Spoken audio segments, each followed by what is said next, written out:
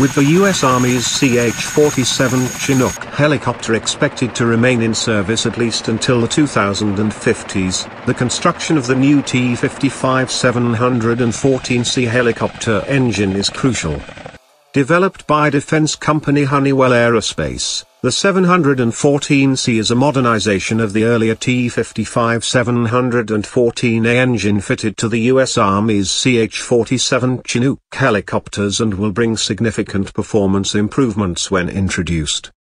T.J. Pope, Senior Director of Military Turboshaft Engines for Honeywell Aerospace, told Studio that the first complete T-55 714C engine configuration is being built and, following a series of testing and verification phases, will be ready for production in 2024.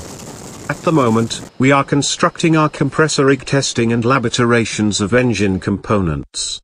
We are also constructing a more capable test cell in our facility to be able to handle the increased horsepower of the engine for production and maintenance and repair and overhaul, MRO, capabilities down the line, he said. Following the completion of lab testing in 2020, the first installation on a Chinook will begin in the autumn of 2021, with further flight testing on Chinooks at Fort Eustis in 2022. Development of the 714C is a company-funded effort from Honeywell, which invested in the engine in anticipation of the future needs of the U.S. Army's Chinook fleet in an era of great power competition and potential conflict with a near-peer adversary. Pope explained that the helicopters are estimated to be around until at least the 2050s, during which time the demands on the platform will increase.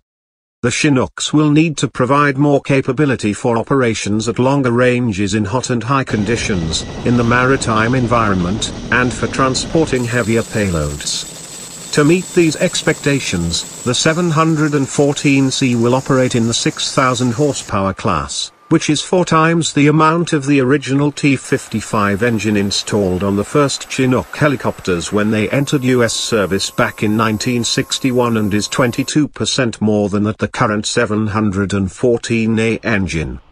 It can attain a high horsepower through the development of a new compressor module that was redesigned to allow increased power output and improve fuel consumption. This new component is at the heart of the 714C upgrade and allows the engines to run at a higher cycle pressure, thus providing a more efficient output. The improvements in the compressor module design came from Honeywell's HTF 7000 turbofan development in the commercial sector.